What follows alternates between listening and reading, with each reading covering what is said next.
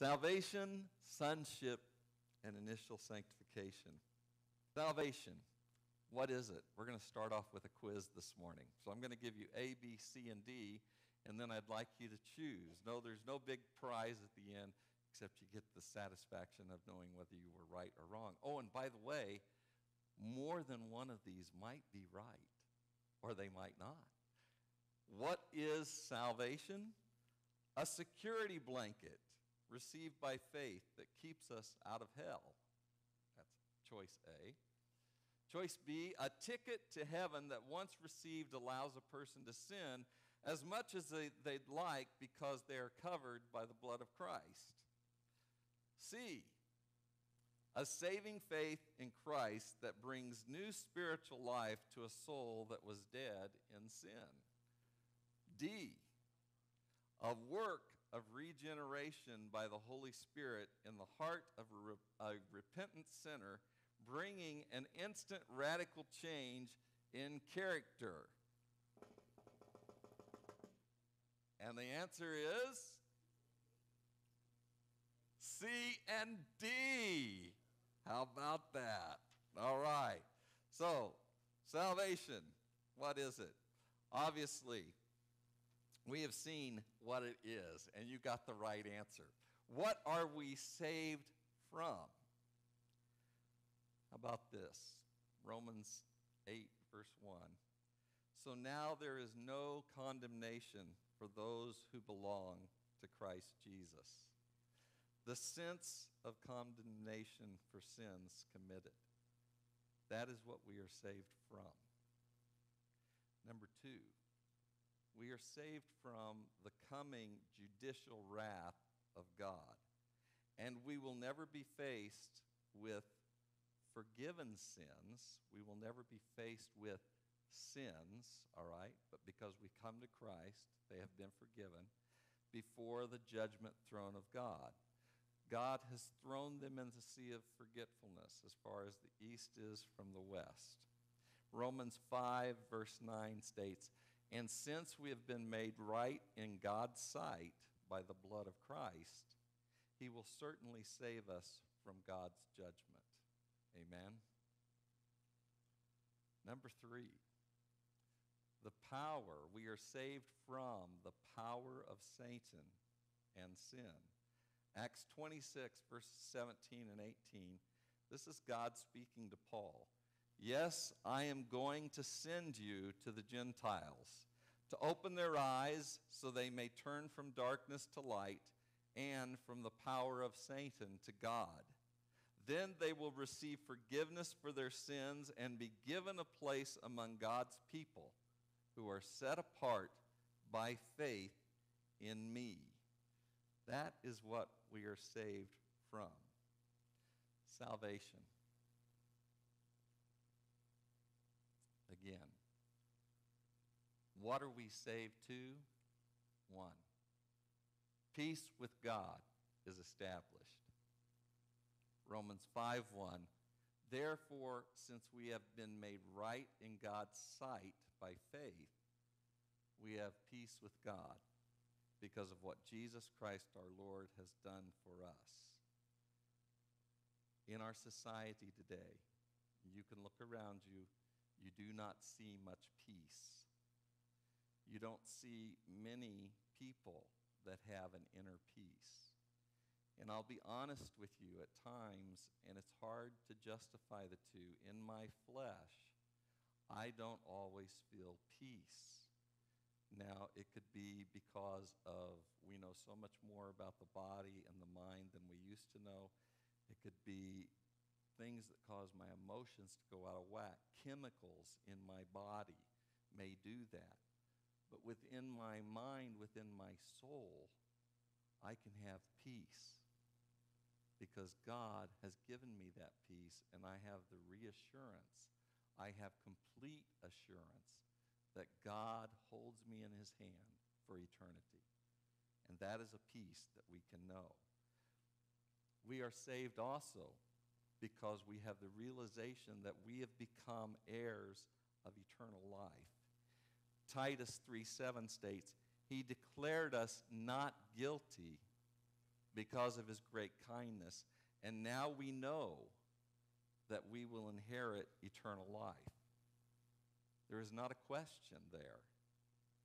In the scripture, in the book of Titus, it states, and now we know that we will inherit eternal life. We are saved to the ability to practice righteousness. Yes, I said that correctly. we can practice righteousness according to Romans chapter 6, verse 15. You were set free from sin and became the slaves of righteousness. No longer are we a slave to sin, but we are a slave to righteousness. Now, this leads into the obvious conclusion, maybe not so obvious. If you read the scriptures, you know that it is. But the fact that you have received sonship, you have become like a son or daughter of God. Now, love and obedience works into this equation. And don't be mistaken, and this is one way that we can know whether we are truly saved or whether we even are backslidden.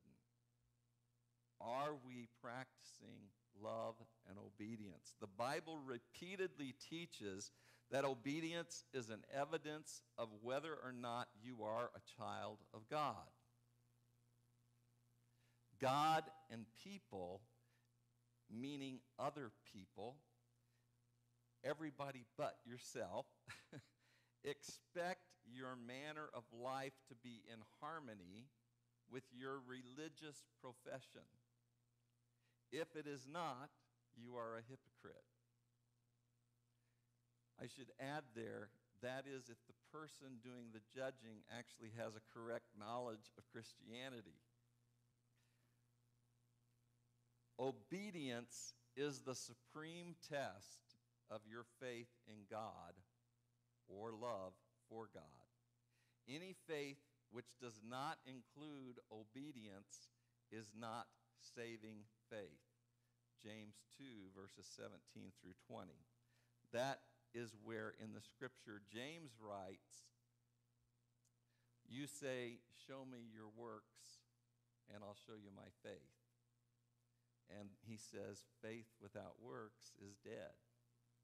So obviously, a fruit of your faith, real faith, will result in works or good deeds, as some uh, some translations put it.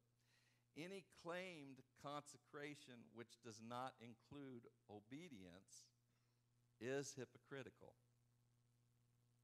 Any professed love for Christ which does not result in obedience is a nominal love only. It is not sincere. Now, these points are from Wesley Duewel's book, God's Great Salvation. It's interesting that adoption, this idea of being adopted into the faith, becoming a son of God, adoption did not have a term in the Hebrew, but it is a theme in the New Testament that is throughout the whole of the New Testament. Isn't that interesting? Because God had chosen one people, a chosen people, a people he set apart to be holy to demonstrate to humankind this is how a people should live.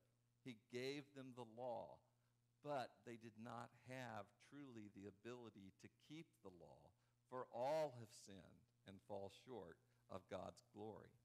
So, we want to have this, and now because this adoption is possible, as we learn in the New Testament, we are all in, as I have stated before, a testing ground.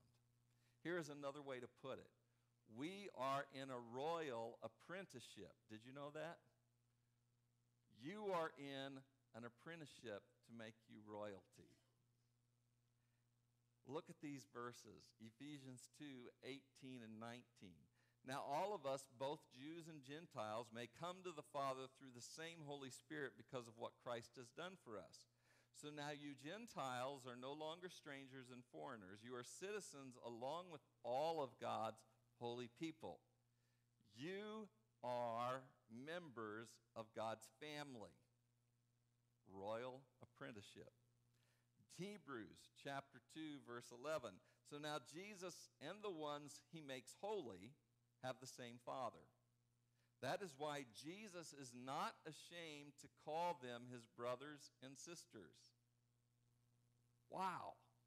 You are Jesus' brothers and sisters according to the scripture. Romans chapter 8, verse 29 For God knew his people in advance, and he chose them to become like his son, so that his son would be the firstborn with many brothers and sisters. One more verse, Romans 8, verse 15. For you have not received a spirit of slavery leading to fear again, but you have received a spirit of adoption as sons, by which we cry out, Abba, Father, or Daddy, Daddy. Imagine calling on God awesome God who we revere.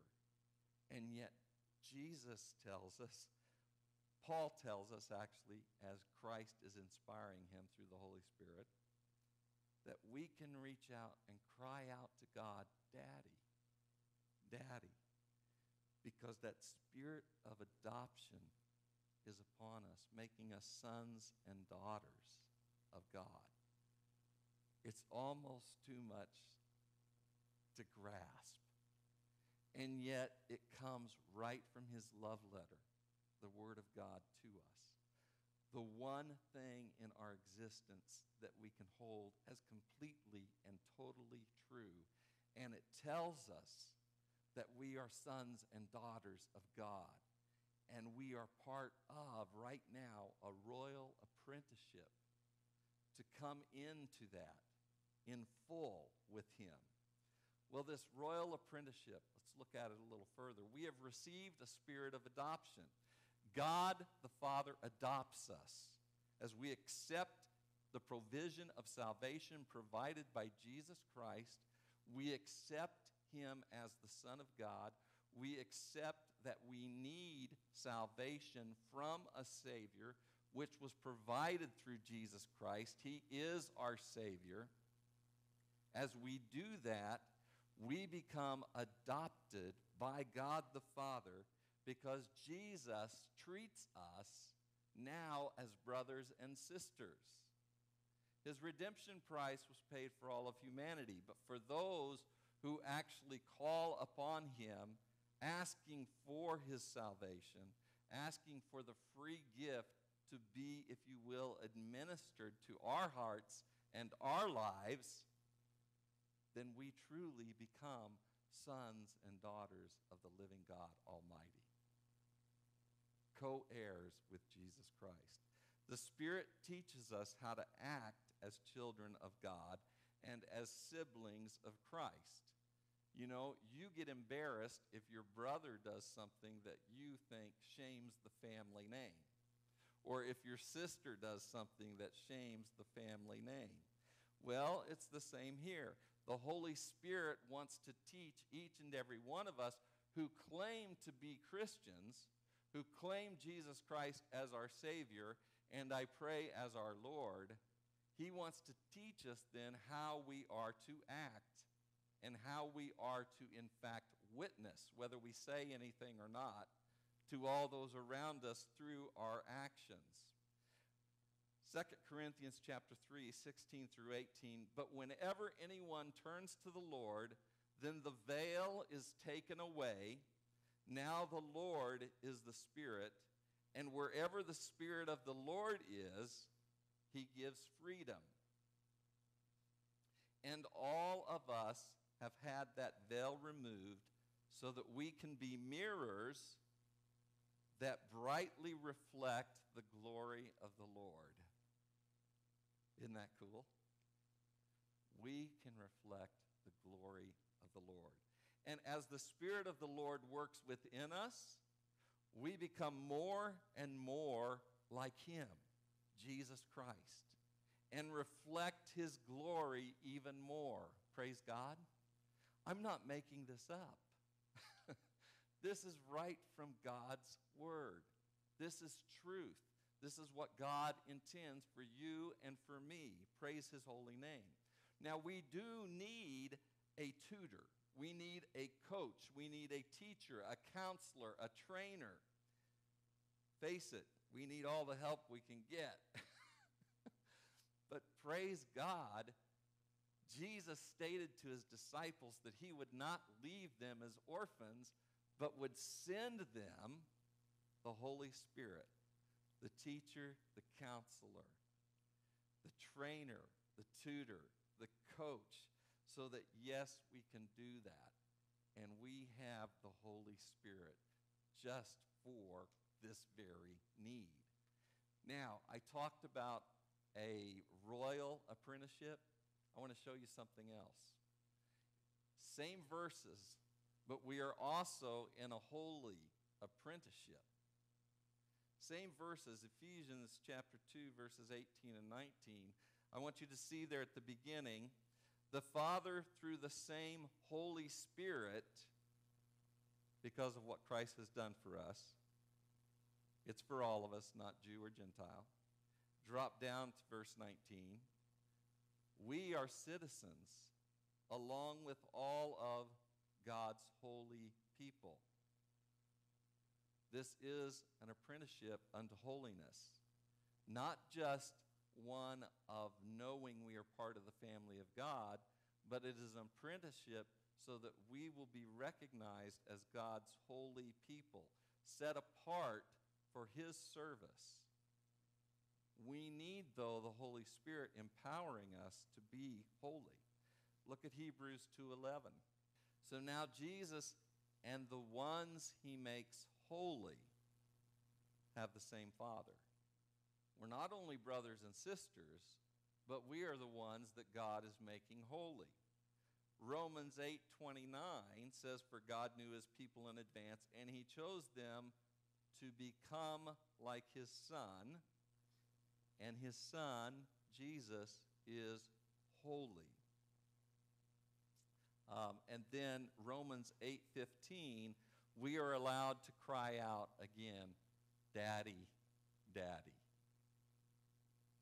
we cannot do that because we are sinful. We can do that if we have been forgiven of our sins.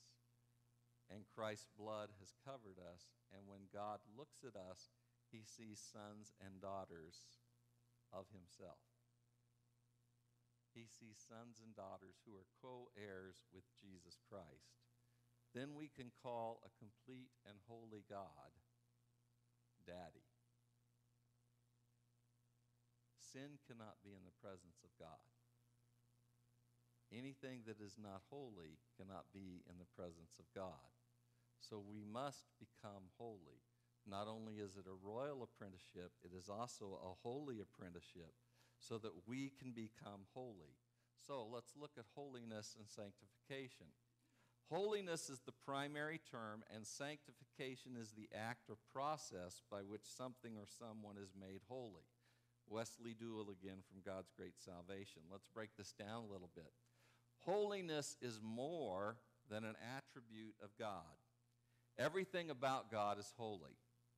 His name, His truth, His word, His works, everything about God is holy. Holiness expresses God's personality through purity through justice, through righteousness, and through this abhorrence of sin, evil, and injustice. None of those things that we see on the front page of the daily newspaper every single day, those are abhorrent to God. We prayed today for a teacher who was beaten by two students, something we should never hear about. And yet, unfortunately, we are reading about it in the newspaper. And it happened in a community very close to us. That should never happen. That is abhorrent to God. That kind of sin has nothing to do with holiness, it is the absolute opposite of that. And yet, holiness is what expresses, that term expresses God and his personality probably more than anything else, other than I can think of awesome. God's love must make everyone who responds to his provision of salvation holy. His salvation is a free gift given to each and every one of us who will call upon the Lord, we shall be saved. If that is our heart's intention. If we recognize we are a sinner in need of salvation, God will provide the salvation He has already paid for. So it is a free gift, but we must ask for it. For God has created us to bear His holy image. Isn't that something? God wants you and me to bear His holy image. He would not desire that if He did not empower us to do so. That will obviously put us at odds with the world. I hope that they will look at us and see literally hope. They need to see that. We need to see revival. We need to see people long to have this. But as our culture gets more and more dark, your light is going to become more and more bright. So they will see it. Let's pray that they decide to choose light over darkness. But it could also mean persecution. But don't turn your light down. Let your light shine for Christ. What did they say of Stephen when the first martyr when he looked up into heaven? His face shone like an angel. We'll pray that we will also do that. We want to be sanctified holy, and we are at the point of talking about salvation. Salvation is also initial sanctification. Initial sanctification is called the washing of rebirth. That's right from the scripture. It's Titus chapter 3, verse 5. It cleanses us from our past. Not only our past that we can recall, but it cleanses us from our sin nature that goes all the way back to our forefather, Adam and Eve. Initial sanctification results in a life of holy love begun in the heart, a life of victory over the practice of sin, a life cleansed from the pollution of the world. Boy, do I like that one. It is holiness begun, it is holiness initiated.